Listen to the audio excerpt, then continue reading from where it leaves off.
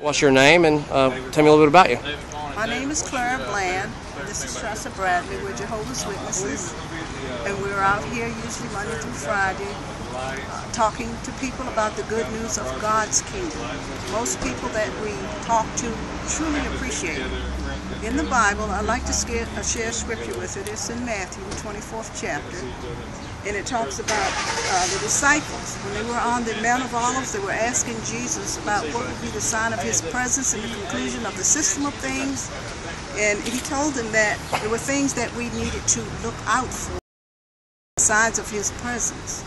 So if you, I would encourage everyone to just go to Matthew, the 24th chapter, and read that chapter, and it tells about the sign of the end of times, when Jesus, just before he came back. And it talks about the preaching work that would be going on, and that's what we're doing now.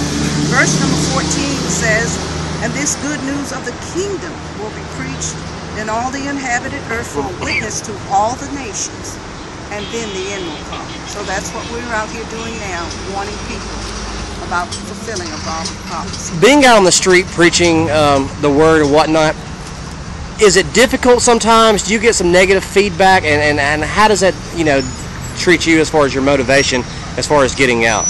Well, we never uh, look at negative feedback as negative feedback. It's those who are interested and accept, and those who are not interested. Um, and we accept that, but we still enjoy meeting everyone and talking to everyone about the scriptures and offering magazines because this is a life-saving work. How long have you been doing this? I've been doing a servant of Jehovah. I've been doing this for 23 years. And it's very enjoyable. I enjoy it.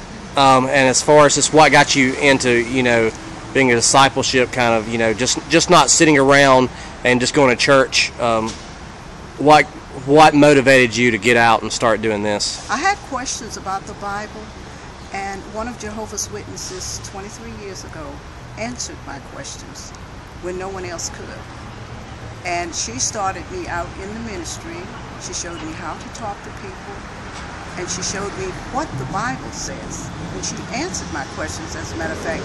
That's what she did. She showed me what the Bible said, not what she thought, but what Jehovah's Word actually says. Do you feel that Floyd County is a very religious county? There are many churches. There are many religious people.